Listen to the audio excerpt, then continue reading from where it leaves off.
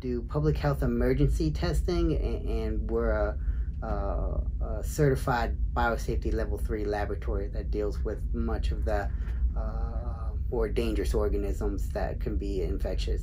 We're currently working through this process uh, and testing samples and helping the community identify positive cases. We do a lot of cases that are, you know, associated with public health impacts. So, uh, first responders, healthcare workers, contacts of previously positive individuals that may or may not have been tested at a, a, another laboratory uh, and just recently nursing homes. Uh, we're a reference laboratory, so most of our samples come from hospitals or local entities, and you know you you wouldn't want to come down here and ask for a test.